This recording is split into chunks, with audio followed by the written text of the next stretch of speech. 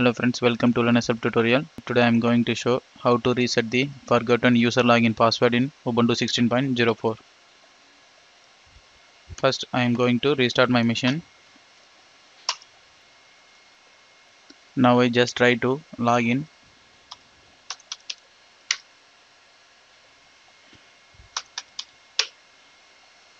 Okay, it's displayed invalid password.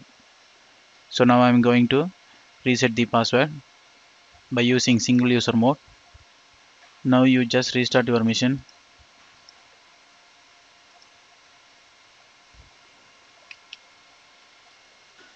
While start the reboot you just keep the press shift key for enter the grub menu. You just choose ubuntu and then you just press e. And here you just move to here you just move to Linux boot line like this. You just erase this and you just type rw and then space init equal slash bin slash bash.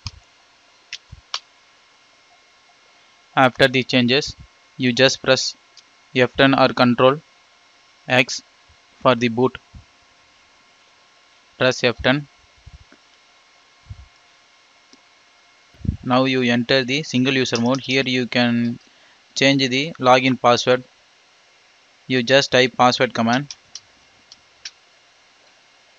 and then username. After that press enter. Now it's ask new password. You just enter the new password and re-enter it.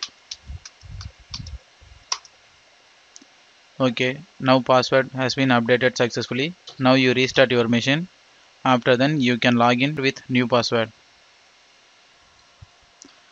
After the restart now you can get login credential.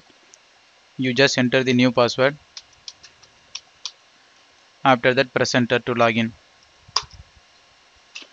okay now password has been changed successfully. Now you can enter that's it friends. I hope in this video can help you understand how to reset the login password in ubuntu 16.04 thank you for watching